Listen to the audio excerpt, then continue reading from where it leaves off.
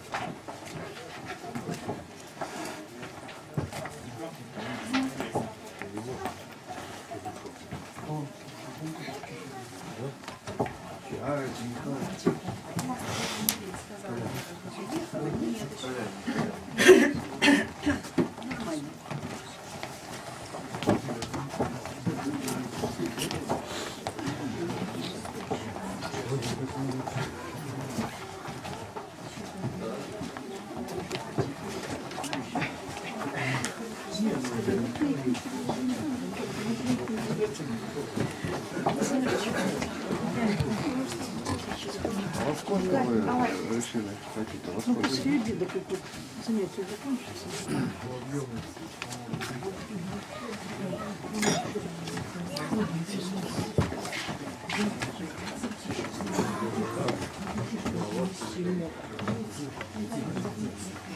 Царю небесный, утешителю души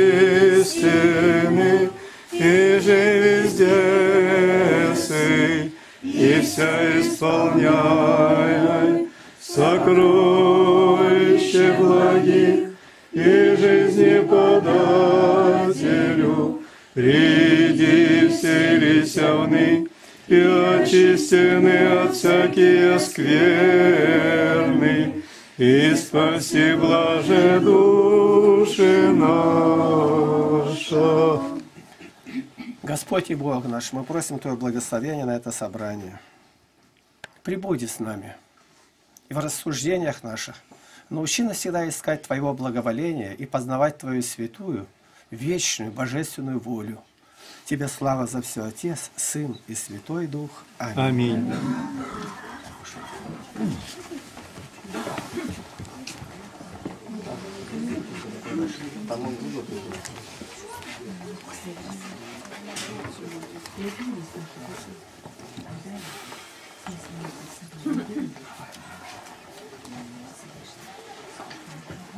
Начну с себя, любимого.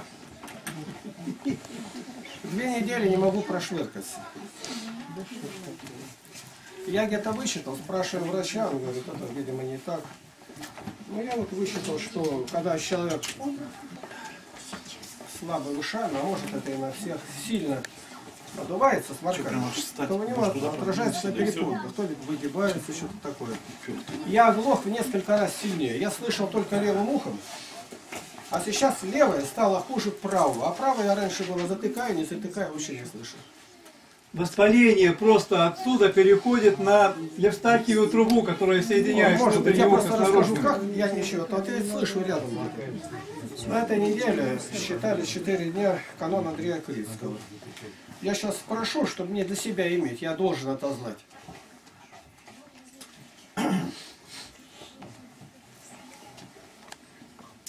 Кто не приходил, не обязательно, у нас где-то где в другом месте же. На Андрея Крицкого на этой неделе. Поднимите руку, кто не ходил ни разу. А, Работали там все это другое. Я хочу другое узнать. Потом я сделаю э, подборку. это. Кто ни разу в своей жизни не ходил на эти четыре дня, и вот э, на пятой неделе это будет полностью Андрея Кристкого, ни разу не ходил. Поднимите руки. Таких мало, ни разу. Понимаете, это не просто обычай церковный, в этом есть необходимость, так как это покаянный канон. Он называется Великий канон. Я тут наказывал, кто у нас не бывает. Но я не знал, может быть, они в другом месте. Но Они не появились. Ходят одни и те же. Кто на собрание ходит, тот ходит и на канон Андрея Крицкого. Сказать, что совсем нет времени, ну, погла- есть такое выражение, похвала в глаза, укус змеи. Я просто хочу сказать, вот, что-то слепой не вижу, наверное. Маша Барабаша, где она меня? Вот она. Она находила время, она приходила. Про остальных не буду говорить. Это человек, который и работает, и учится, и она находила время. Это благословение Господне. Мы соединяемся в этом со всей церковью. Я сейчас говорю, а у меня каждое слово, как в худом репродукторе, я его через это ухо как будто идет и бьет. И... Поэтому ко мне не обращайтесь. Со мной вот мученик, Володя снимает. Он у дверей стоит, рядом лежит полено, стучать по скобке, я не слышу. И он звонит из-за дверей. Я сижу рядом, не слышу. У меня телефон, я сейчас его вытащил, заложил, чтобы он тресся, как у Андрея, он, у дробота. На, это идет. Мне это как раз. Вам неудобно со мной. Но вы как-то приспособьтесь. Когда ко мне приходите, вот с этой стороны у дома, тут кормушка для воробьев. И подойди в окошко потихоньку постучи, я увижу. Позавчера у меня случилась неприятность из-за того, что я не слышу. Неприятность выправимая. Дело в том, что мы все-таки собираемся ехать поездку дальнюю. Самую дальнюю, самую дорогую и самую долгосрочную. Сейчас в других городах уже люди приготавливаются, чтобы мы ехали и ежедневно давали сведения, где мы едем. И это выставлять на сотни, может, тысячи людей. Люди все больше будут, больше следить будут за нашим путешествием. Так сейчас делают ежедневно. Но удастся или нет, главное, это Виктор Савченко будет. Мое участие там какое? Только что я не мешаюсь. Это самая моя заслуга. Я не лезу, не мешаюсь. Я никогда не забуду, как в школе учительница мне поставила пятерку за пение. Пятерок было много, я ни одной не помню, а эту помню. Она сказала за то, что ты не мешался. Я тихо сидел, ну, пятерка. Я хотел бы получить пятерку от Бога за то, что я не слышу. Я благодарю Бога за это. Сначала я расскажу, как вам неудобно, а вы тогда решите, как, чтобы наши отношения не изменились. Я сижу рядом у телефона стационарного. Он звонит. Телефон. Ну, вот такое расстояние. Телефон вот здесь вот у меня, и я не слышу. Володя кричит телефон. Я какой? Это вот полторы недели я в таком состоянии нахожусь. Для меня это благо. Он смотрит, Володя, будет сказать, что такое? Ему так плохо, а он смеется. Я, я весь углубленный, куда я хотел. Я намного отвлекался. И нам нужно приглашение. Приглашение оформили. Приглашение, когда приглашение есть, тогда не надо нам заботиться заранее справку, что нам забронировали э, гостиницу, там, в Мадриде, в Париже где-то. Мы приглашенные, те берут на себя ответственность, они платят страховку, если мы попадем в аварию, они все оплачивают. Это не просто так. И Валентина Стартисон, она взяла двоих. Больше она не потянет. Не она, а там, которая работает. Из чего платить? А деньги большие платить. Они регистрируют по нашим деньгам, кажется, на 300 тысяч рублей. Это очень большая сумма. Но это, может быть, и не потребуется. Там меньше платят страховку. А меня приглашает э, моя племянница. Она вышла замуж, и там находится Лапкина Надежда тоже. В прошлом году она так делала, и нынче у них и денег-то нет. Ну, я говорю, рассчитаюсь как-нибудь. Да не надо, дядя Игнатий. И она там сделала, пошла там куда, какая организация таможенная, что там. Все это сделали документ. Валентина свое, Валентина соединила и посылает спецкурьером. В прошлом году Марина Куемчеди, это Плотникова, она два раза нам посылала, тоже так же делала, платили страховку, и они делали на троих. Кого-то там подговорила, греки какие-то. Ни разу не дошло. И один раз только на Москву сказали, до Москвы, чтобы э, спецкурьер довез до Москвы, свой, который поедет там священник. Это получили, а нам уже это не надо. Не доходит. А спецкурьер это так, она в среду там сдала, а в пятницу, это ну, два дня, мне отсюда звонят. Так, сегодня к вам должны завести документы. Спецкурьер. А работает по всему миру. И Англия, и Аргентина, и, и везде. А во сколько будете? Во второй половине до шести. Я никуда в окно смотрю, телефон смотрю. Ну, просмотрел телефон. Гляжу, два звонка одних и тех же. Он был. Надежда идет, приносит бумажку. Мы были у вас по-английски. Вас дома нет. Э, то, то другое, значит, ждите следующий. Я следующий также не мог дождаться. То ли не звонили, или как. То есть пришло, лежит партизанская 105. Она спрашивает шифр какой, я все назвал, мне сообщили оттуда. Видите, какое неудобство со мною. Драгоценный документ, который теперь мы можем начинать быстро оформлять документы на визу. Раньше трех месяцев нельзя, нам выезжать, въезжать в зону пятого, и вот с пятого три месяца остается. Теперь мы ускоренно должны все это делать, тем более Витю надо подтягивать. А я пестер сижу и, ну, как есть. Еще не потеряно все, но я к тому, что помолитесь чтобы как-то со мной люди обошли, чтобы я был доступен им. От меня, кто там в интернете, никто не знает, что я не слышу. Потому что я также работаю, еще даже лучше. А самому забрать-то как? Сходите забрать с партизанской. Самому забрать. А? Самим забрать, сходить. Сходить на Сходить партизанскую. Но позвонить надо, никто не даст. Они очень серьезны, должен быть я. Меня надо вести. Николай может пойдет. Самому. Это особая служба. Приехать и спецпроверка забрать вас. Никому они не дают. Видимо, я должен договориться. Я звоню, они меня проверяют. Алексей, они меня проверяют. Они спрашивают мои данные, я отвечаю. Спрашивают шифр, когда тот был. Это серьезная организация, я понял. Приехать, забрать вас, съездить на Ну, может машине. быть как-то еще только понедельник. Они с 10 работают. Та организация, которая в прошлом году нам помогала получать визу. Дальше с Англии не поймешь, когда мы там будем, и там дорого платить. То есть открыть только нам на троих визу примерно потребуется 50 тысяч. Только открыть визу, ничего, не трогаясь с места. Потому что у них для открытия, кажется, 9,5 с каждого. Ну, умножай на 3. При людей 27-30. Здесь поменьше, но это прошлогодняя цена, то может они повысились. Там может быть больше будет этого. Дальше отправлять книги, когда туда там, я не знаю, ну в 50 мы даже и рассчитывать. Николай, в 50 не уложимся отправить. Ничего пока не скажу. Ничего пока не скажет. Да. То есть это только, только чтобы как-то оформиться, не считая, что ехать надо на бензин и прочее, и прочее. Я говорю, самое дорогостоящее, поэтому откладывайте кто что может. С 1 мая, я не вижу Людмилу Степановну, болеет? Болеет. Болеет. Вот через нее. К этому времени, 1 мая, кто может, пожелает купить, какие фрукты. В прошлом году с нами были. Это инжир, немножко. Курага, грецкий орех, кедровый там дали, давали орех. Потом это, как кишмиш называют. Что у нас еще было там? Финики. Финики. Финики.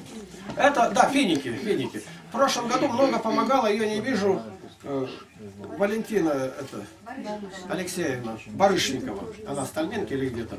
У нас было и осталось, и так мы заглушили. Когда мы едем, это не, не, не здесь. Там не, нельзя ни, ни костер разжечь, никуда. А мы воды, дорога едем, ну, подкрепимся маленько, едем дорога, я 5. 16 листы, там какие-то дал ягоды, поели. И так у нас идет. И сухари, я говорил. Нас обильно Господь благословил сухарями через Глушкова Игоря, он хлеб привозил тогда. Я насушил. Ну куда держать? 12 полных набитых мешков. Вот таких вот. И я их объявил, там кто по два мешка, там тащили в этом Корщину наши, Виталий, там, ну кто мог. И раздали. Я считаю, что это так надо. Придет время, к вам вернется ваш недостаток восполнится другими, а ваш избыток другими. Апостол Павел про это говорит. Поэтому сушите, кто может. А потом к первому мая будем подтягивать уже к этому месту. Нам ничто не препятствует. Выполнить то, что есть. Об этом мы молимся. И еще не определенно, где будет ставка. Не определенно. Но работают по разным направлениям люди. Это должна быть Смоленская область или Калужская. Где-то здесь. Куда мы должны забросить. А потом, думаю, нас ждут в Краснодаре. Ждут Йошкар-Оле, там разных, чтобы где-то людей собирают. Э, Нам люди нужны. В Англии уже договариваются, в Финляндии. Это встречи с людьми с русской диаспоры. Если мы в Англию проникнем, дальше мы в Шотландию свободно пройдем. Мы узнаем, где русская диаспора. Одного возьмем из, из русских, которые владеют хорошо английским языком, и мы там а, задержимся в Англии хотя бы дня на три. Это единственный раз, и приедем, мы наши паспорта зарубежные можно в архив сдавать. Останется еще на один год за парка где-то там около Москвы на следующий год. И у нас все, книги кончились. Мы едем только с дарами. И все заказывают, заказывают книги. По интернету люди узнают. Ну, особенно это трехтомник Нового Завета. Вот я вам говорю, вы как-то себе где-то записываете. Трехтомник, мне в таком виде, его бы не издать, тогда у нас был Судников отец Нафанаил. Вот все абсолютно. Вот каким шрифтом, как сделать, чтобы ровно на три тома получилось, и печатать мои 297 комментариев, это все он. И крест, который есть, и цвет, это все он. Он поднимется потом против, это никакого значения не имеет. Это его. И перед Богом да будет это ему пропуском рай. Тысячи людей, которые копируют себе там и просто не, не от нас а берут с интернета. Это он. Я все это вспоминаю, как Бог нас благословлял, когда Он был здесь рядом. Вот на этой неделе, что было у нас? У нашего брата Игоря Третьякова родилась дочь. Никогда вопрос не стоял, как называть. Я знаю, у которых дети рождаются. Вот она сидит, сестра. Мать еще в больнице, а отец с метриками и бежит. И дальше называет, как хочет. Я отец, я говорю, а почему ты так не дождался, когда мать придет хотя бы. И она ни одной, ни дочери, она как хотела, нет. А обычай такой был раньше, по нужде. Я расскажу немного о именах сегодня. Это большое дело имя, не просто так. В имени заложено пророчески будущее человека. И Бог называет Адам. Знаете как? А что Адам означает? Означает глиняный, красный, из красной глины. В нем это заложено. А он ее называет Ева. А почему? Ева означает жизнь. По-гречески Зоя. Так и жизнь, да, жизнь. Женщина дает жизнь, и через нее мы все умираем. Это Писание об этом говорит. А дальше название. И Бог дал мне сына. И Ева называет, как Бог давал ей. Она так их называла. Моисея поймали в корзинке, назвали вытащенный из воды Моисей по-египетски. У матери нет детей. И она молится, выпрашивает. И, наконец, Бог дает ей сына. И она его называет выпрошенный у Бога. Сам Уил. Ил, Иолагим и Аллах это считается синонимы близко Бог. Вот Михаил. Опять, это еврейские имена. Михаил, никто. Никто как Бог. Переводится. Никто как Бог. А есть Ил впереди стоит. Илья. Это Бог моя крепость. Вот нам кажется, ну и что это значит, там одна буква. Был Авраам. Его все звали Авраам, Авраам, Авраам. И вдруг Авраам. Люди говорят, какое изменение имени? Другое дело, назвал бы его каким-то октябриной, тракториной, как раньше называли, Кариной. Авраам означает странник. Странник. То есть идет, путешествует, паломник. А Авраам означает отец множества. Это совсем другое имя. Авраам. Вот Яков. Родился Яков, Яков у нас Яша. А спроси, а что он означает? Означает обманщик. Запинатель, дающий подножку. Когда он рождался, и там с братом у него в утробе получилось, кто вперед родился. И его так и назвали. Так это и осталось. Женщина, которая хотела детей, женщина знает, когда она рожает. И наконец она говорит, все, кончился этот цикл. Сладости уши, теперь я, ну, все, больше детей у меня не будет. Она знает. Обыкновенная женская прекратилась. Как Златоуст говорит, сухой ров. Влаги нет. И вдруг Бог говорит, родишь сына. И когда родился, она называла, теперь кто не услышит, засмеется. Старуха, 99 лет родила. И она назвала его смех. Смех Исаак. Смех. Значит, это вызвано было тем событием, какое есть. Вот, допустим, Наимень – это прекрасная, приятная. Она ушла. Ушла с мужем, с двумя сыновьями. Муж умирает у ней там, на полях Моавицких. И два сына. И она, когда вернулась в город, стал кричать, Наимень вернулась, Наимень. Она говорит, не называйте меня Наимень. Я понимаю, как она, сейчас фильм такой рук поставлен, со слезами, говорит, называйте меня Марой. То есть ее называли до этого приятная, сладкая. Она, Мара означает горькая. Мне имя Мара теперь. Иногда называют по цвету. Под цвет волос. Родилась девочка с темными волосами. Ее называют Мелания. Мелания означает темная. И ребенок только родился, и он руками машет, тут такой грубо так себя ведет. Варвара, так назвали. Варвара такая осталась, грубая, невежественная. И говорят, у, это варвары. Слово-то сохранилось в своем первоначальном значении. А вот родилась со светлыми волосами. Светлана означает Фатина.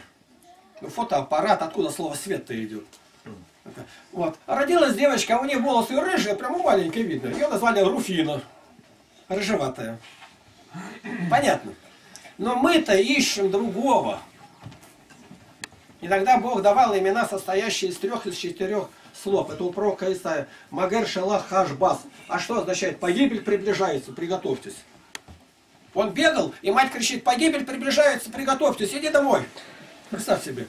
И она кричала, и она проповедовала, что погибель приближается. Все говорят, что за имя такое? По-другому вы не знаете. Теперь будете знать. Погибель приближается. И вот давать имена, обычаи были разные. Потом, когда уже стали накапливаться имена святых, мартиролог называется. Главное, это было мученики, которые умерли за Христа. Тогда стали называть в честь их. А потом уже как-то установился обычай, родится мальчик, вот разрешается, если в этот бывает день нет никого. А их имен, сейчас я не знаю, сколько в данный момент, но когда лет 10 назад я подсчитывал, я сидел пальцем считал по календарю. Мужских имен примерно 753. Выбор-то какой большой.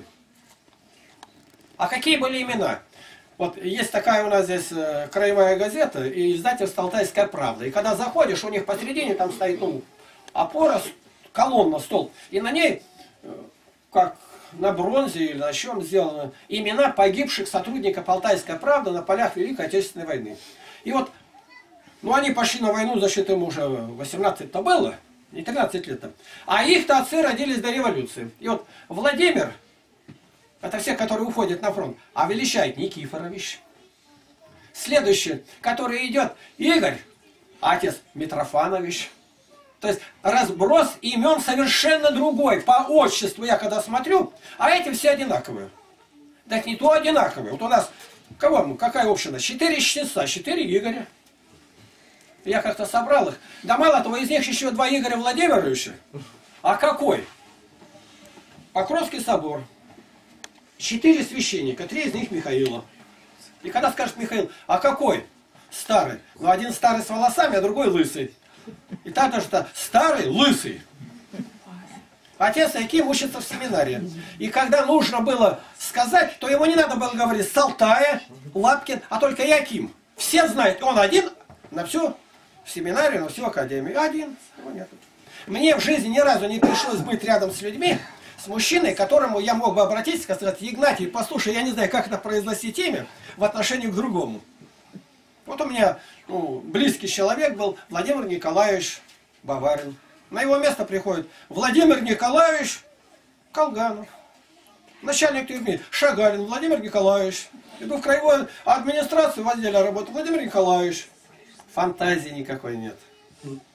Вот у меня старший брат, а его называли, когда крестили, тот, кто крестил, выбирал там священник, э, тогда было это без поповцев, крестил дедушка Терентий. Терентий. В моей памяти Терентий остался как отпечаток моей жизни. Он называет его Самуил. Следующий Игнатий. Следующий Аким. И родители не спрашивали, на этот день родился, у меня на этот день был Евтихий. Вот что удивительно, это редкое имя, и мы на один день с ним были. В этом тоже что-то есть. Я стал узнавать не только биографию, а значение имени. У меня редкое имя переводится с двух языков. Первое, неизвестное, греческое, незнаемый, незнакомый. Я оправдал своей жизнью, своей жизнью. Я незнакомый. Обо мне всегда спрашивают, а кто он такой? Не потому, что я... э, Меня не видно, они видят. А потому, что я делаю, они никак не могут найти для меня ячейку. Это мог найти только отец Кирилл Сахаров игумен, когда был здесь. Игнатий, он не входит ни в какую ячейку ларья, когда там это млекопитающее. Из животных только одно не попало ни в какую ячейку. Это утконос. И когда Щущелова привели, привезли в Англию, с Австралии, долго ученые рассматривали под лупу и сказали, это специально, говорит, над нами посмеяться, шили. шили с разных. Ну, животное, а несет яйца. Животное, а клюв, как у утки, утконос. И притом ни в одном зоопарке мира утконосов нигде нет, оно сразу погибает. Это надо ну, просто увидеть. Я вот выступаю где-то, говорю, а кто он такой? Баптисты, так это наш, вы слышите, говорит, по Евангелию. Православные здесь? Они сразу говорят, нет, это наш, это православный. Он, видите, как говорит, это старообрядец. А видите, как он крестится, это старообрядец. И это по сегодняшний день, буквально весь интернет наполнен. Я сегодня что взял, вот до того удивился. Мои стихотворения отдельными там сайтами выставляют, украшают. Я ничего сейчас в этом не вижу. Я вижу это дело Божье. Значит, об именах. Брат Игорь, отец, Юля-то там лежала. Он говорит, два имени есть, Фатина, и он в прошлый раз об этом рассказывал. Я ему не говорил, как назвать. Такие слова не произносил. Но направление, конечно, я давал. Агафья означает доброе. Доброе. Понимаете, это такое рисковое имя, как бы благая. Она граничит где-то на грани э, соприкосновения с божественным, неповторимым. Ее житие все, до буковки евангельское. А Фатина, если была та Фатина, которая у самарянка у колодца, это Светлана, тогда бы, это понятно, апостольская. А то Фатина другая, там, которая на острове, он говорит, там ни одного шага не было евангельского. Ну и в честь кого она будет подражать? И Игорь назвали ее и уже принесли Агафию. Так у нас в общине теперь прибыль Агафия. Вы для себя просто так имеете. Я когда называю, говорю, смотрите, э, э, в правительстве был Климент Ефремович Ворошилов. Старые люди знают, еще помнят его. В школе спросите, Климентов много? А Ефремов много? Так это было-то не то, что там они были какие-то суперверующие, а это было естественно. Я по радио, когда выступал, вел программы, мне один звонит, я всю жизнь проработал на местном радио, и то другое. Какое у вас имя поэтическое, поэтическое. Понимаете как? И вдруг ко мне один человек приходит, говорит, а у меня дядя Игнатий Тихонович. Я говорю, а где он в Москве? А кто он генерал? Это Володя Пенкин. Значит, имя э, давали во времена Златоуста по любви к кому-то. Его учителем был э, епископ Милетий. Но его сослали, долго ждали, а на его место поставили одного епископа, его Павлин звать. Это не, не птица с хвостом. Епископ. И когда он вернулся, а его прихожане, которые ждали его, в это время рождались дети, они подряд Милетий, Милетий, они Милетий. Пошли, как вот в 62 году Юрий Алексеевич Гагарин был, Юрка, Юрка, везде. Вообще, это понятно. Ян Златоуст говорит, что имя ничего не поможет, если ты не будешь работать. Ну давайте мы назовем все. У нас не запрещено называть Иисусом. Вот сейчас крещение приняли, в газете пишут, Иисусом они назвали в Рубцовске. Это не запрещено нам.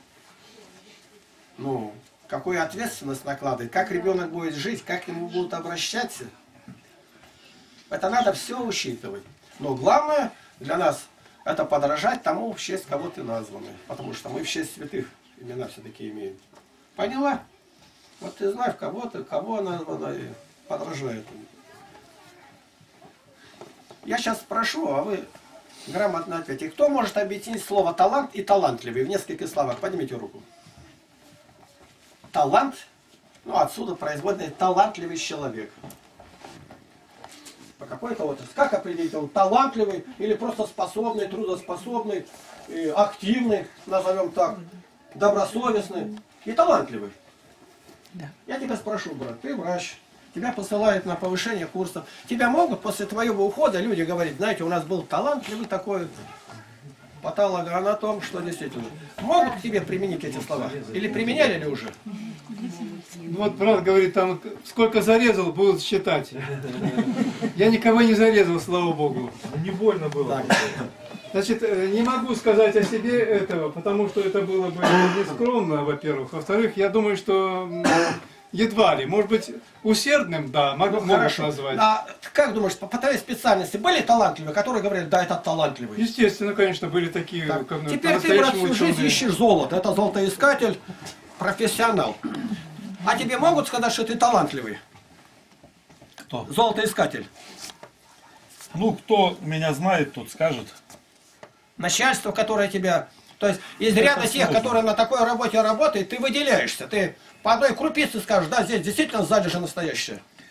Ну, э, Ну, ну, талантливый, я, не, может, неправильно выражаюсь, но в этой области талант Ну, такие выражается именно в том, что что-то ты делаешь, то, что такие другие не специалисты, их единицы все. Единицы специалистов таких вообще. понятно. Поэтому, делают. Так, брат конечно, Николай это сказать. Я дома прослушаю, что все скажешь. не Сейчас просто так.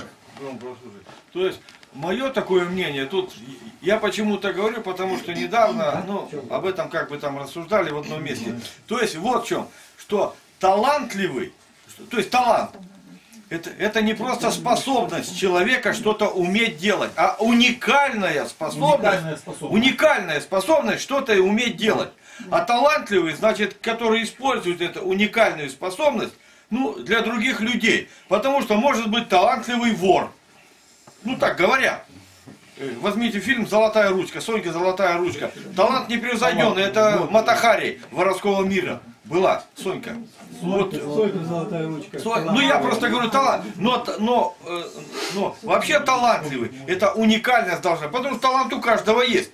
Талант он один красиво говорит, ну и что, что красиво говорит, но это не уникально. Понимаете, есть уникальный хирург, Говорит, что талант у многих есть. да, талант, талант, Говорит, Хорошо. ну, способность. Она у каждого землю копать, он тоже талантливый землекоп может быть. Но уникально выкопать или вылепить, это, это таких людей может, э, может даже пальцев хватит. Уникальных. Поэтому врачей много, режут все, но у каждого врача свое кладбище. Вот так говорят. Так, он сказал, сказал талантливо, сказал или нет? Да, да. Сойдет. Как ты думаешь? Доходчиво. Доходно. Так, дело в том, что прошлое собрание у нас было. И Николай Валентинович берет журнал, там душа, и говорит, а вот тут так написано. Ну, тут кто-то согласился, кто-то нет. И там в интернете прослушали. И какая-то женщина, я ее не буду уже, я ее не видел в глаза, но она заходит там, Валентина, 12. А вы меня с этим человеком познакомьте. Я ей сказал, как его звать. А, дайте, как я дам адрес? Я... Вот. Я говорю, это невозможно. Два слова написал. Жаль.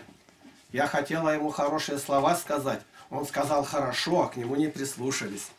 Так что, где у меня Надежда-то Польгуева? Так что я ее не выдал. Какая не имеет права покушаться. Так. Талант. Я спрошу дальше. Лауреаты Нобелевской премии могут быть признаны талантливыми? Конечно. Гений. Я слышал однажды такое определение. Талант заключается в том, что человек не знал, что этого делать нельзя, и начал делать и получилось. То есть все знали, это, это невыполнимо, это невозможно. А он начал это делать, вот сказали, Бог выражается в цифрах. Вот когда начинали программы составлять в интернет, как это так? Это сразу на всех на весь мир выходить. Вот как телефон мобильный, э, Мартин Купер, или этот интернет Тим Бернерс-Ли. Все знали, это нельзя. Они выдвинули идею, им сказали, нельзя это сделать. А я не знал, что нельзя, я уже сделал это. То есть, этот вечный двигатель, он все время перед глазами стоит. Я к определенному делу говорю. Однажды э, в литературной газете я прочитал статью, называется «Миссионер 21 века» об Андрее Кураеве. И там написано, он говорит, я проехал там по местам, где были Вселенские соборы, там одни развалины, ну и встречался с мусульманами, видимо, встречался. И он говорит, они необыкновенно талантливы религиозно. Я первый раз встретил эти слова, соединенные вместе. Талантливый религиозно. Это было уже лет 10 назад. Я 10 лет об этом размышлял. Я искал данные в разных местах. И теперь я могу сказать целую проповедь, что такое быть религиозно талантливым. Здесь два варианта еще. Тут мешается два слова, которые не все знают. Слово экономия, вы знаете, экономить. Проехать в жестком вагоне, по- подешевле там. А есть слово экономия, и. Экономия. А напротив его, чтобы понять, допустим, я тебе говорю, что такое свет, а напротив, я говорю, тьма. Я говорю, добро, напротив зло. Все так. А напротив экономии, а кривие. Экономия означает снисходительность. Ну ладно так, да ладно уж, пускай. Да ладно, как-нибудь. А криве это строгость. Написано, я обязан сделать. Не вседозволенность. Каждое это слово имеет право на свое существование. Вот сегодня священники играют только одним словом акриве. Оно написано так. Ну, акриве вот. Ну, погружать надо. Ну, я могу просто так ладошкой и все. Зачем ему раздевать, я его жалею. Вот, то есть они начинают этим словом играть. Это безобразие, это не, не экономия. Экономия заключается в том, что э, человеку может дать послабление священник. Так написано, если человек болен, зело престарелый, зело млад, беременна, все, больше ничего в это не попадает. Он может во время Великого Поста, в обыкновенные дни, разрешить ей там немножко вино или, или масло растительное. Все. На большую экономию ни один священник права не имеет. Они так, вот мне охота курочку поесть, там, этого нигде нету. Нету. Это за правилами. А кривия предполагает строгость. Строгость. И на этой строгости настаивает вся Библия. Это есть закон. Бог все абсолютно делает в акривии, но иногда э, допускает и экономию. Я поясню. Пророк проповедует. Ниневия погибнет через 40 дней. Никаких альтернатив нету. 40 дней она будет сметена. Она будет сожжена. Там будет песок. Удивительное дело. Царь услышал. И дал указание, не есть и не пить три дня. Ни скотина, чтобы не ела, ни малые дети, никто. Как скотина ревела, три дня не выводить. Ни пить и не есть, не давать. Даже и подохло немало. Посыпали пеплом голову, и у них не было надежды никакой. Они говорили, может быть, Бог услышит, может быть. Пророк-то им не дал надежды. И Господь отодвинул, отодвинул там на 120 лет. Но погибель все равно пришла. Это акривия. А вот в первом случае Бог отодвинул. Вот это экономия. Отодвинул. Потому что эти люди покаялись.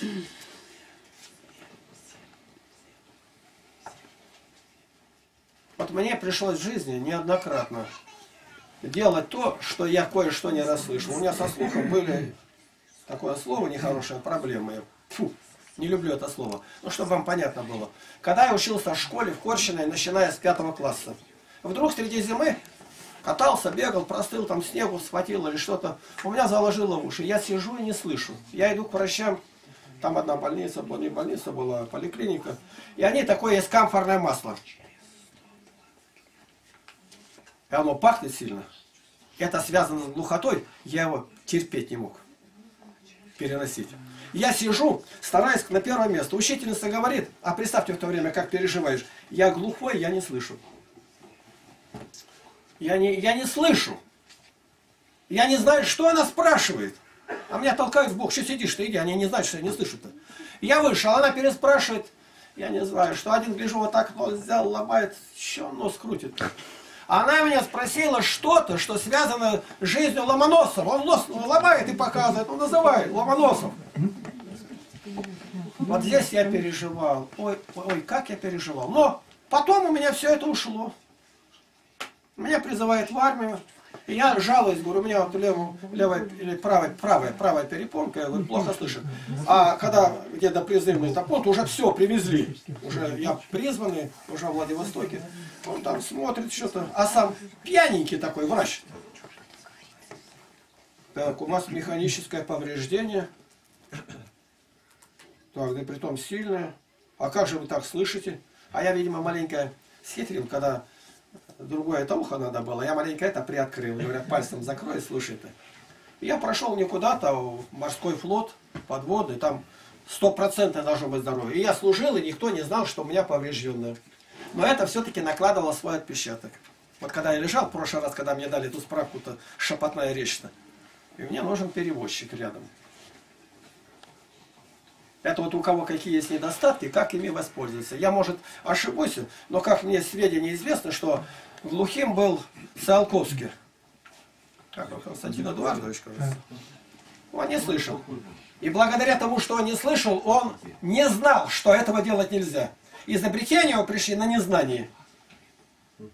Кибальщич там еще слышал, он мог эти ракетные установки делать, сидеть, э, соображать. А этот не слышал. И у него столько изобретений, как у Леонардо да Винчи, как у Архимеда. Я не знаю, может быть, так или нет, но передавали, что Бетховен оглох. И он слушал, только представляя трость и к этому. И главное произведение, которое дальше писал, он писал на глухоте. Ему это не помешало. Я все это подгоняю к себе. Я не слышу, но я занимаюсь и полностью там. И на молитве меня ничего не отвлекает. Я так благодарю Бога за мою глухоту. Но мне ехать надо. И чтобы со мной не было трудностей, ну, помолиться, чтобы Бог маленько приоткрыл мне одно ухо-то хотя бы. Да. Игнатий Тихонович, тут дело в том, что у вас это наследственная тугоухость. Кроме того, что есть воспалительный процесс, еще и наследственно это обусловлено. Я полагаю, что вот в этой поездке, ну хотя бы на, на время поездки вам нужно приобрести слуховой аппарат. Потому что вам хорошо, но людям, которые будут общаться с вами, будет трудно. Не только которые будут с вами ехать, а которые будут во, во- во время всей поездки. Всё, благодарю. да и вам-то тоже будет трудно. Благодарю. Вы не будете видеть слышать, переводчик что рядом. такое. Так говори. Переводчик. Я согласна. Аминь, говорю. Пока не готов к этому. Правильно. Я благодарю, знаю, что все, что ты говоришь, это да, так. Религиозно талантливый. Я говорю, что это 10 лет моих размышлений привели к тому, что у меня в жизни однажды было, я позавидовал. Позавидовал. Был у баптистов, э, баптистский дом новосибирский, там два брата. Ну, вот как Кличко такие, эти спортсмены там. И они оба почти одинаковые. И как они выходили, и как они пели. Сторож, скажи, сколько ночи. И я позавидовал, как бы мне, вот если бы так. Они выходили, э, там объявляли их, они выходили. Я никому не завидовал, им позавидовал. Я почувствовал, я позавидовал. И сразу подумал, а вот если бы сказал сейчас Господь, я тебе дам этот талант, но отниму тот талант, что ты проповедуешь и знаешь Писание. Я бы сказал, Господи, собрание меня и подумал. А я подумал, я сейчас где-то работаю на крыше, так бы я запел на полгорода. Слышно было. Позавидовал. Но я тут же отступился от этого. Это не мое. Но вот у меня есть другое, когда я на Андрея Кураева остановился на этом. Быть религиозно талантливым. Чтобы это слово, сказанное о мусульманах, которые мне близки, чтобы оно было, эта кличка прилипла ко мне. Я стал рассматривать, что пришлось мне сделать за 51 год. Я претендую на это слово. Почему? Потому что я никогда старался не останавливаться на это. Вот у православных, чтобы так были картины, места писания, я не знаю где, может быть где-то есть, не знаю. Но мы их сделали в храме, между иконами. Так вы еще у баптиста да нет, Писание говорит второзаконие, сделай надписи там везде. Мы это сделали. Мы не повредили православные и соединили с этим. Евангелие лежит. Мы сделали Библия, специальный заказ у батюшки там, окованная, вот лежит, Библия на русском языке. Батюшка одно время даже как будто обиделся, когда его не было, и мы сделали надписи и повесили. Я говорю, давайте теперь молиться, чтобы батюшка приехал и все это принял. И батюшка говорит, а почему ты решил, что я не приму? Да не почему, прости меня, батюшка, я просто... Понимаете как? Религиозно талантливым быть, это значит шагать за грань того, что там, где ты есть, и за этим ничего больше не видеть. Может быть, знаете, тупым манкуртом. А я консерватор, у нас так положено. Я понимаю, что можно два пальца и три. Два и три. Это равно. Я показываю. Так молился Сергий Радонежский. Так князь Владимир. Так, везде. До реформы Никона. А так Игнатий Брещанинов. Серафим Старовский, Иоанн Кронштадтский, те и другие святые. Вообще вопрос снятый. Старобрядцы сразу, а, у него такая мешанина в голове, а то он так и так признают. То есть они Бога понимают, Бог только старобрядец. И они в этом уверены. Я в это не верю. Я признаю, что церковь вселенская, она состоит из пяти ветвей. Слово ветви не любят православные. Я ну, называю, вот рука, вот пять пальцев. Почему пять, а не шесть? И вот так сформировалось в жизни, что православие, католицизм, Григориано-Армянская апостолическая церковь, копты и сирийцы, пять больше нету. За этим все уже не церковь. Я на этом мыслю. Почему? Там нет епископата, сошествия Духа Святого. Восьмая глава Деяния апостолов. Со мной многие не согласны. Но это мое, я в этом стою, в этом верю. И, так православие, значит, нужно вот так. Патриарха во всем поддерживать. Нигде про это не сказано.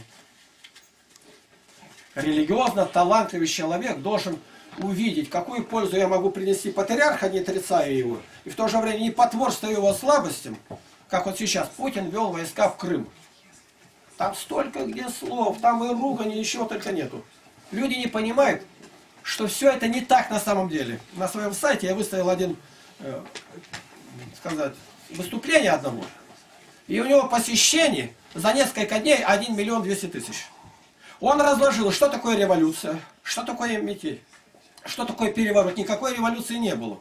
И он это доказывает. И теперь что делают те, что делают другие, кто за кулисой руководит, и он все это раскладывает.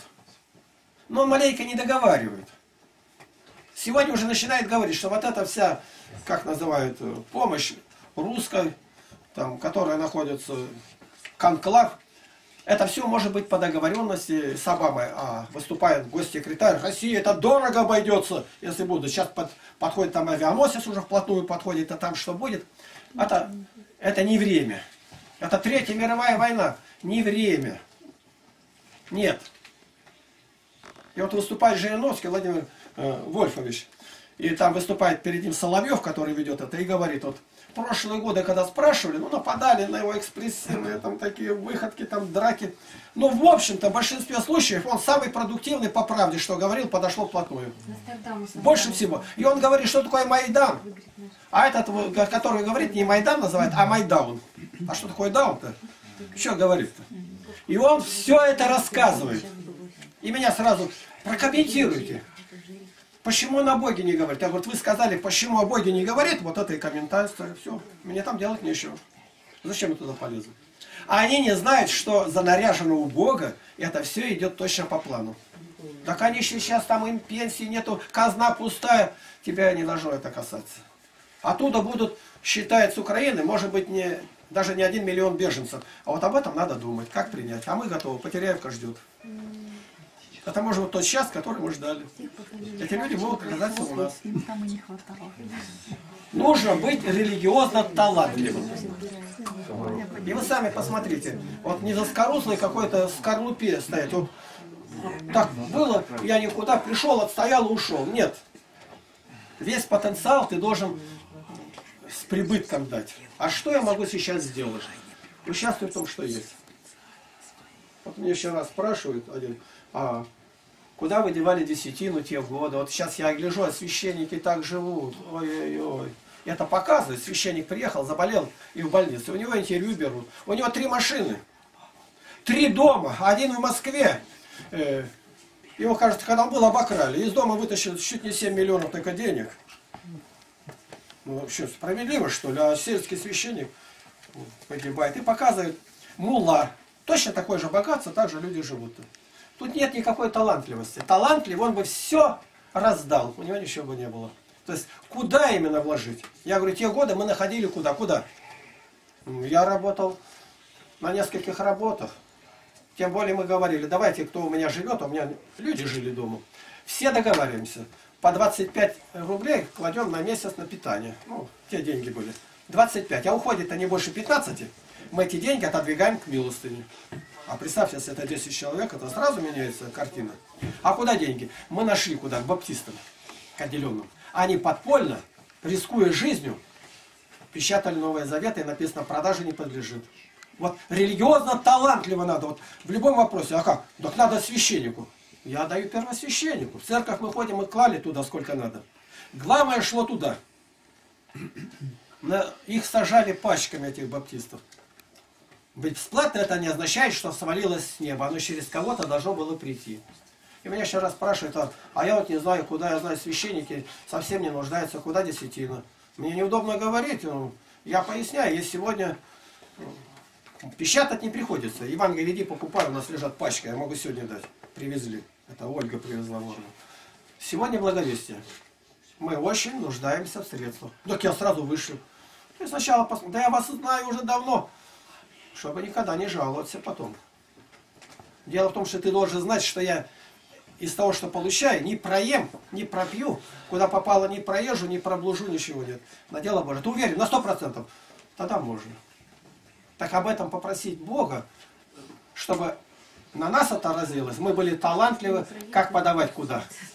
Талантливо. А не просто так свечку купить и в ящик церковный бросить. Это никакого таланта нет. Это загруженность мозга, мо- мозга без переформатирования, как патриарх говорит. Религиозно талантливый человек, он абсолютно во всем видит то, чего другие не видят. Какое-то слово сказать, а надо ли не надо говорить. В какой момент сказать, а где промолчать. Религиозно талантливым верующим надо быть. Я как-то э, выдвинул это 118 псалом, 164 стих, э, за эпиграф, 118 псалом, 164 стих. Семикратно в день прославляя тебя за суды правды твоей. А как это дело? Я нигде не считал. Я стал молиться, у меня один ответ Богу. Я не имею таланта на это. У меня нет просто его. И Бог мне, я считаю, Господь открыл это. Э, Должно быть не больше семи минут. А что туда? Три святое, то, что занаряжено. И не меньше 100 поклонов. Я это, знаете, установил. И сейчас уже другие это берут. Мне сообщают, а вы знаете, как это? Они знают, что это от меня. Вышло, теперь ко мне возвращается. Учат они меня моими словами это. Благодарение Богу. Нам авторство не надо, и оно премию не, дай- не дает нам. Религиозно талантливы будьте. И начало моему размышлению положил э, диакон отец Андрей Кураев. А другие просчитают. Просчитают, ничего нет. Я рассказываю, как я обратился, когда фильм «Отверженный» Виктор Гуго посмотрел. Он скучный такой фильм. Солдатики, позевывая, пошли в армию. А меня прожгло всего. Может, я не понял. Я, кажется, три раза только в воинское счастье сходил. Пошел в город, еще сходил. Достал книгу. Одна фраза. Спаси не жизнь, но душу. Не жизнь, но душу. Есть надежда спастись. И Бог привел меня к Евангелию. Тот сказал религиозно талантливо. Я сумел религиозно талантливо услышать, религиозно талантливо начать работать над этим. И написал Жану Вальжану, который играет роль Жана Габена, письмо, назвав его как отцом начала моего движения. Вот, письмо никуда не пишу. Понятно? Я вам немножко пока даю.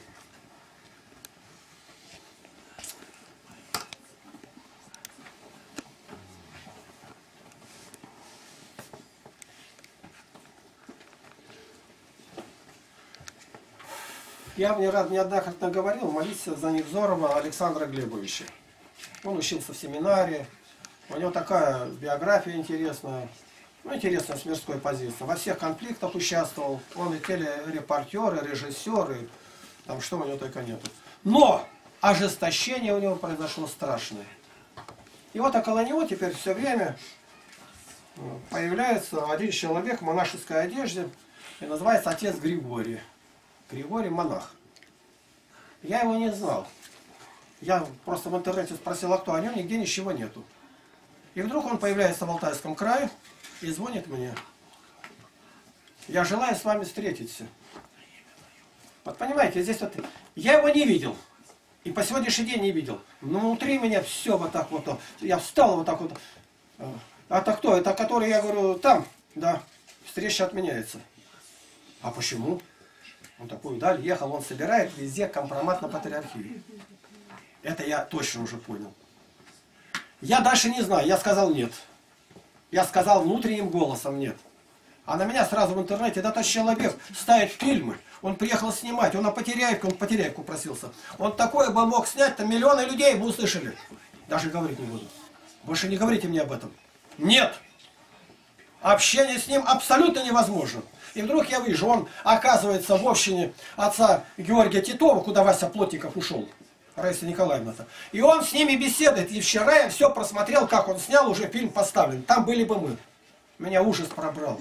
Это только Бог меня мог спасти от этого. Ни таланта, ничего нет. И когда он говорит, я с людьми-то каждый день общаюсь, я смотрю, что у него на лице написано у этого человека, на глазах. Это виновность перед всеми. Он что? Он монах? Ну ушел. и поставил задачу воевать с патриархией. Находит какую-то послушницу, которая была еще не монашка, но уже она там в послушании. Он женится на этой Насте.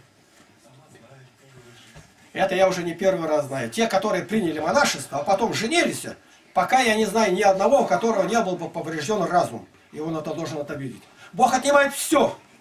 Я против того, чтобы мона, это, а, давали обед перед... Но если ты принял, назад пути тебе нету.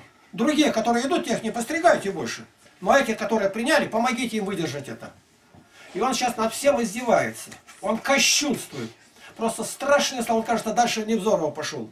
И вот в глазах я гляжу, как он говорит, как губы открывает, как это он с таким как бы духом говорит. Вот, конечно, я понимаю, вы меня осуждаете, ну, он старается вид своего сохранить, а там ничего этого нет. Люди, которые впадают в этот грех, это не просто блуд, это измена Богу. Везде измена, трусость и обман, как говорит. Я вчера посмотрел все эти места его, и его поведение, как он старое там берет, где работал, строил монастыре, видимо, сейчас переоделся. И да, бывает, из того момента у него сохранилось кое-что. Меня Господь просто спас от этого. Его звать Михаил по-настоящему. Я не сужу его, я просто рассказываю мое впечатление. И прошу, когда будете за Невзорова молиться, Александр, помяните этого Михаила. Он перешел грань. О том и о другом у меня мнение такое, что они, может быть, похулили Духа Святого. Человек нормально не может так говорить. Он, над, он не, не просто издевается, он кощунствует. Безумно кощунствует. Над верой, над всем, что только есть. А я на, на него отвечаю, у меня ролик вышел-то. И он ролик этот мой перетащил к себе, и вот Игнатий говорит – а я говорю места Писания где-то. А что он цитаты дает? Это один пшик для меня. Места Писания это пшик. То есть у него ни Библии, у него ничего нету. А у Насти она его не удержит. У них ничего нет. Мы, когда ездили поездку, мы встречались с одним таким, который принял монашество здесь. Ну, он еще был такой дьяконом. Принял-то просто по глупости. Посватался, девчонка не пошла за него.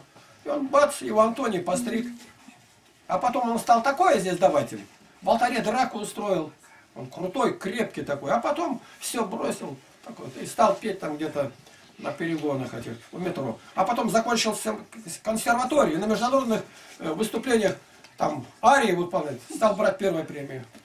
И мы были у него дома. Не у него, а у его отца. Я его знаю, он у меня в лагере ребенком был представительный мужчина.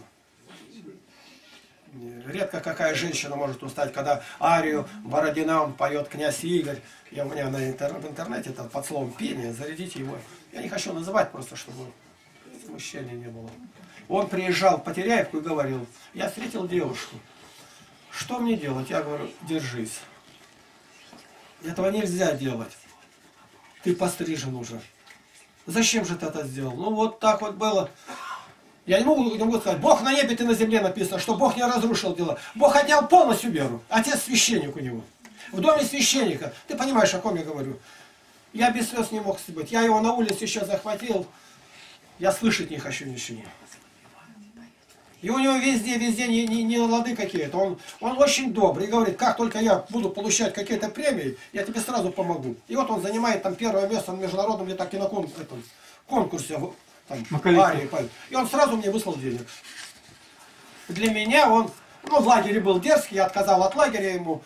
Такое было. Ну, вот, человек-то сам по себе, и семья такая. Но грань перейдена. Если у вас кто-то где-то будет встречаться, принявший монашество у католиков, у григория православных где-то, и будет говорить, ответ один нет. Плачьте, рыдайте, но только не давайте никакого согласия. Это нам не дано. Перед Богом все это сделано. Я против того, чтобы давали обед такой пожизненный. Но он уже дан. Мне говорят, да вы как-то так и против, и да. Ну вот такой, какой есть. Будьте религиозно талантливы, будьте верны Богу. Вот у меня сейчас в интернете одна особа заходит, и на наши, которые мы говорим, ваша родственница. И она говорит много не- несуразного, много ненужного. Я мог бы ответить, зачем? Притом зарегистрировалась по полному чину, свою девичью фамилию, все указала. Э, Фотография более ранее, так она прекрасно выглядит. Ну, кто здесь знает, о ком я говорю. Нет. Но говорит совершенно невероятно, ненужное ей. Я что могу, только я все бросил сразу на молитву. Господи, помоги. Она такая хорошая. Сколько у ней было. И дерзость погубила все. Все. Разрушила семью. Все, она ни перед чем не... Дерзость. Это уже беснование. И признаки это были давно. И поэтому усилить молитву. Кто знает, на ухо могу шепнуть. Я молюсь каждый день об этом человеке. Повторяю, этот человек хороший. Это человек хороший, но он не пободрствовал. Из ячейки выпал, непокорение мужу, детей от бабушки отвратить. И началось дальше из церкви крестики снять. И дальше уже пошло все, посты не надо. И все развалено. А они не знают, что впереди будет. А впереди будет катастрофа. Катастрофа, которая будет в семье. И она не может быть по-другому. Можно только молиться и жалеть. И отвечать не надо. Не вступайте ни в разговоры, ничего нельзя. С этим монахом, вот, о ком я говорю. А монахи просто этому молиться. И главное, что он все с себя снял против монашества, а сам все время ходит в одежде и косичку носит. То есть старое, а оно, он понимает, это то, за что он цепляется сейчас. Больше ему не за что цепляться. Это как и у евреев. Они цеплялись за то, что мы, богоизбранные, уже враг у ворот стоит, Иерусалим будет пленен, а мы богоизбранные, им надо каяться, молиться, врага в землю. А мы богоизбранные, и наконец Бог рубит под корень и вышвыривает по всему лицу земли. Как Евгений Берсье говорит, как будто бы ком сухой земли Господь растоптал и веником развел по всему миру. Это бывает с отдельной личностью и со многими целой нации. Так, я подбиваюсь под то, чтобы остаться в памяти людей, как религиозно талантливый. Во мне говорят, а у него там жуткая смесь, там старообрядчество, там баптизм, какую-то религию, его там терпели. Религиозно талантливый, он должен видеть везде доброе. Да он, ему никогда Бог не простит, он за свидетелей Иеговы заступается. Я заступился, что вы, говорю, неправильно их душите. Перед государем, императором все одинаково, они зарегистрированы. А не то, что я свидетелем Иеговы стал. Ты должен быть религиозно талантливым, снисходительным, в то же время держать все в строгости. Так одна пишет, а вы знаете, на Игнатия натолкнулась одна свидетельница Иеговы. Она правильно говорит. Да он ее в пух и прах разнес сначала, а потом о ней положительно на собрание, она посмотрела и сказала, вот как они работают, и дома к дому идут. А вы сидите. Сначала ее разнес, вот баптисты пишут в Америке.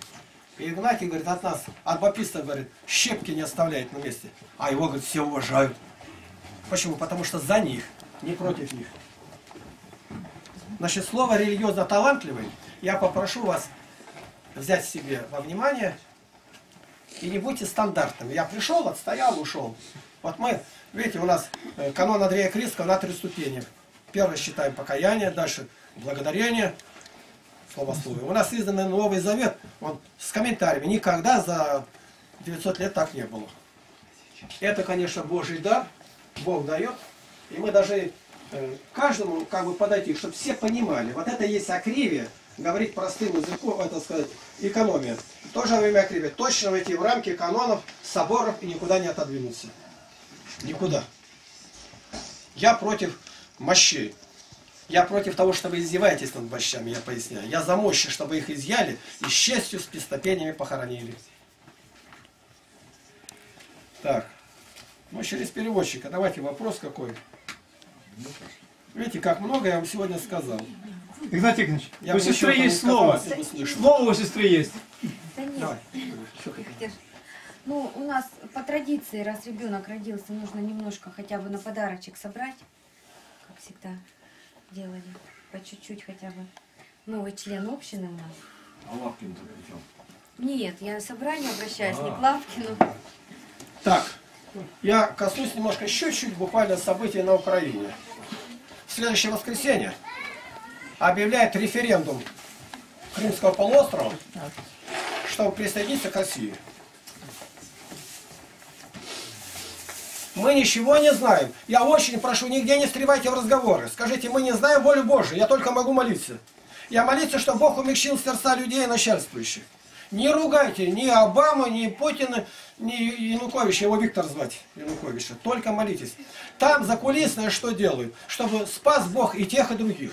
Вот начинают они бандерасы, они фашисты. С чего ради они фашисты? Они патриоты. Они любят свой народ. Они боролись с коммунистами, валят памятники Ленину. Чего ради они стали фашистами-то вдруг-то? Это я могу точно сказать. Не присоединяйтесь к чужим словам, к ругательствам. Молись, если Бог даст слезы, плачь. Это под боком. Они сейчас выдвинули требования. Значит, Воронежскую область, Ростовскую, чтобы нам отдали. Это Украине принадлежит. Они в ответ те же самые слова долбят здесь. И сейчас готовят отряд не меньше 100 тысяч на территорию России, боевиков оттуда, со всего мира, чтобы взорвать Россию на куски расколоть.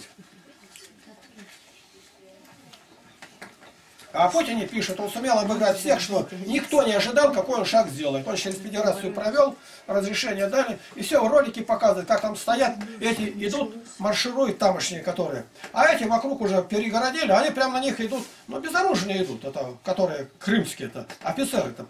А там снайперы везде стоят и с этими с гранатометами, тот останавливает их. Это еще стоять, у нас российский флаг, вы что, против российского там? Я сказал, остановитесь. Эти сразу отступили, залегли с пулеметами. Военно не понимают. Где-то сорвется. В каком-то месте. Тогда уже подряд все будут крошить. Мы никак не можем повлиять. Первое, нигде не присоединяйся ни в какую сторону. Не присоединяйся.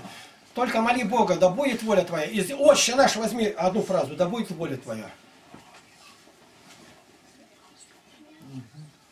Когда в тюрьме у меня было спорят двое, а я знаю, что кто прав. И ко мне обращались, я ни разу не ответил. Если я ему ответил, то другому я буду враг. Никогда. Спрашивает что-то, я сразу поворачиваюсь молча и начинаю молиться. Молитва нас спасает, мы за Христа спрячемся. Не вставайте нигде, мы ничего не знаем. Не ругайте никого. Да будет воля Твоя, Господи. Молодежь вот эта вот сидит, которая сонная, вас забреют в один день. И в один день с вами будет покончено. Ни один не уйдет. И горбатых, и слепых всех подгребут. А у нас какой порядок? Есть бланк, на котором написано, я православный христианин, не могу воевать, я не на отлучении, батюшка ставит печать, и наши идут в военкомат. Пока отказа ни одного не было, все документы приняты.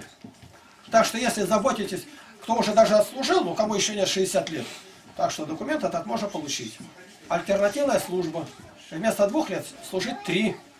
Ухаживать за больными, за заразными. А почему нет? Я на это призван.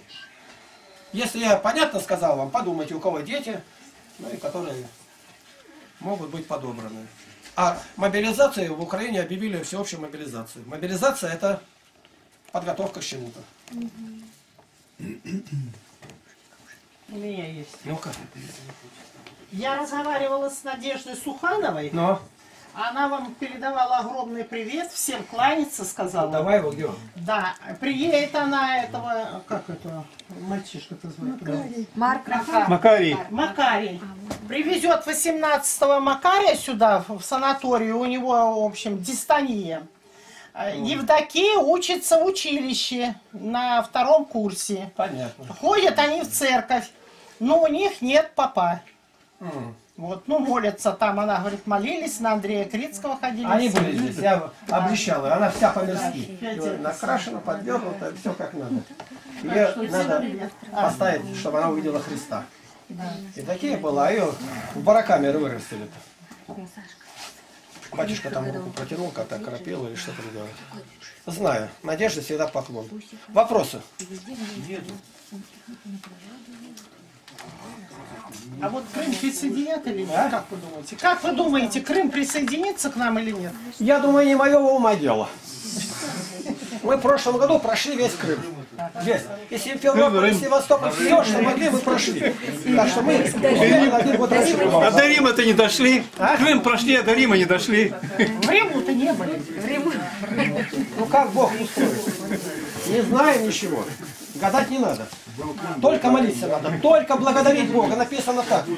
Запомните одно выражение еще. Иеремия 48 глава 10 стих. Ой, повторите. Иеремия, Иеремия. Иеремия 48 глава 10 стих. Запомните. Проклят. Кто дело Господне делает небрежно. И кто меч Господне удерживает от крови. Так я хочу, чтобы войны не было. Проклят, кто удерживает меч, ты не забывай. Я не могу говорить другое, кто написано. А как делать? Да будет воля твоя. Ну а ты хотел, чтобы не было? Хотел, но я боюсь говорить это. Проклят, кто удерживает меч Господень от крови. Это от Бога. Там все эти гей-парады там что только не было. Проклят, кто меч Господень удерживает. Его не надо удерживать. Пришло время, открывай ворота. А как? Я еще раз повторю, только молиться. Дело Божие, а какое дело? Вот твое, которое ты делаешь. Делай его ревностно. Не спите, вставайте рано, вставайте ночью на молитву. Молитесь. Сейчас задача одна у них, как будто бы убить и, это, Януковича. Он не прав. Ну не прав, ну просто так. У него там глава администрации был. Они над ним издевались, его били и тоже пристрелили. Другого там где-то взяли. А он говорит, только в январе поставленный был. За ним вообще ничего нету. Это новый избранный-то. А никаких его. Его избили, бросили в комнату и зажигательно туда бросили этот коктейль. Он живьем сгорел. И что это? И Путин об этом говорит. Это что, демократия? Путину нужна помощь от нас, чтобы Господь Духом Святым просветил его разум. Я всегда говорил, что человек, который служит в системе КГБ, это человек с искореженной совестью. Он другим не может быть, там нормально все. И поэтому надо молиться, чтобы совесть его была выправлена Богом. Такой большой народ доверенный ему. Я говорю просто, по-другому не может быть, чтобы там служил человек и по совести. Это нельзя, потому что там все обмане строится. Он из той системы. И поэтому ему нужна особая помощь наша, молитвенная. Я благодарю всех братьев и сестер за молитву. Благодарит за молитву, Я болела что это и самое, болела. благодарна вам Мы за все молились, молитвы. Галя, каждый день молимся. Я вам всем благодарна. И не забывайте о милостыне. У я все ребятишки. Так, кто-то, Сергей что-то хочет сказать. Дети у Гали все болеют, уже молитесь. Уже все заболели. да? А, У меня просьба помолиться об четвертом бессловесном благовестнике, об урагане, о всем его.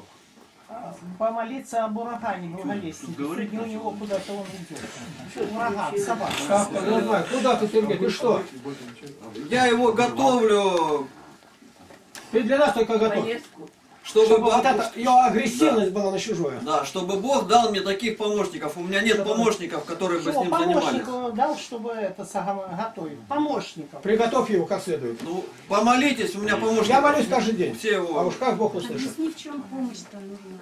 Ну, Нам ну, сказано молиться. Это не по молитве Бог делает, а по милосердию своему. Отвечаю на молитву. нужны люди, которые бы, чтобы с ним занимались, чтобы он их кусал. Я хотел, я хотел еще напомнить э, историю. Человек, который не знает свою историю, то человек этот, он все может наступить на те же самые грабли еще раз. Поэтому историю надо знать. И вот история такова. Вот эти революционные движения, они уже были несколько раз в нашей стране. Знаете, чем закончилось последнее? Великим переворотом октябрьским 17 года. А до этого было очень много покушений, как и сейчас, вот этих смертей непонятных. То есть в мирное время якобы э, люди сильно рассерженные на эту власть начинают сами производить расправы. И сначала это было также шокирующе, а потом люди начали привыкать. Но самое первое к этому привыкла это великая молчание, молчальница, это православная церковь. Как только императора или какого-нибудь чиновника убили, со святыми упокой. Если промазали, во здравие молебен отслужили и все. То есть сердце далеко отстояло от христианского по- понятия милосердия и добра у этих людей. Я могу сказать о сегодняшней, о сегодняшней любой церкви, зарубежной, незарубежной, хоть какой. Вот Олимпиада началась, когда все хорошо. Дифирамбы, патриарх стоит в олимпийской форме, рассказывает, благословляет. Все, сейчас такие события, никого нигде не видать, ничего не слыхать. Они не знают, как это все приложить и к чему. А мы не знаем, что делать. У нас что есть-то? У нас только молитва одна и все. Мы же не можем помочь автоматов там дать или еще что-нибудь. Да кого вы прикладываете таланты-то и думаете, что делать. Может быть, Библию надо почитать. Когда были эти революционные движения, Библия нам рассказывает, что люди делали религиозные, как они поступали. Поэтому история повторяется. Главное, чтобы она не коснулась нас с вами. Самое сложное, что э, Слово Божие, оно живо и действенно, и острее меча обоюдоострого. Так, у кого что еще есть? Нету. Поблагодарим Бога, оставайтесь, будет занятие. Достойно есть всякого истину, блажи Дитя Богородицу, пресноблаженную и пренепорочную, и Матерь Бога нашего, честнейшую Херувим, и славнейшую без сравнения Серафим, без исцеления Бога Слово родшую, сущую Богородицу Тебя величаем. Господи, слава Тебе за милость Твою, что позволил нам собраться. Что не по воле Твоей было сказано, прости и помилуй меня грешную. Если это от Тебя, проложи наш путь, удали все препятствия пошли нам все необходимое. И пришли добрых людей, знающих Тебя и вселение наше, расширь пределы общины нашей. Научи нас искать не своего, но что угодно, воли Твоей святой, чтобы мы были все рожденные от Духа Божия, получили новое рождение и были в Духе Святом. Тебе, Господи, слава, Тебе хвала, честь и поклонение. Отец, Сын и Святой Дух. Аминь. Спаси Христос. Я оставлю мешочек. Надя, Надя. Надя, ты это, Надя, ты когда что-то будете брать, вы с Юлей советуете.